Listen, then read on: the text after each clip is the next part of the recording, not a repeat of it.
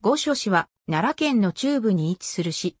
市名の由来は、市内を流れる葛城川に5つの瀬があったとする説や、高尚天皇のおもろが御所に変わったとする説が挙げられている。奈良県内で一番人口が少ない市である。御所市中心部周辺の空中写真。2011年10月9日撮影の4枚を合成作成。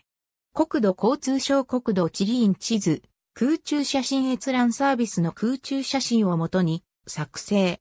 奈良盆地の西南端に位置し、西には山と葛城山、金剛山がそびえ立つ。南は風の森峠を越えれば五条市となる。中心部は大技による地名がなく、番地のみの住所となっている。古代の大和国区図上郡の地で、古瀬付近は高市郡居瀬里に属した。江戸時代後期に長井家が串良地域に串良藩神社を設けたことでも知られている。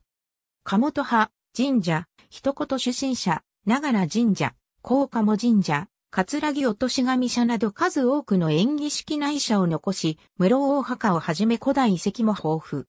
古代豪族桂木の市の本拠地であり、近年も2004年に極楽寺響遺跡が、2009年には秋津遺跡が発見された。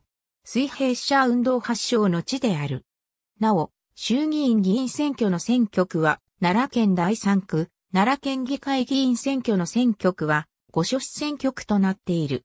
秋津間郵便局を除く、各郵便局には、ゆうちょ銀行の ATM が設置されており、五所郵便局では、ホリデーサービスを実施。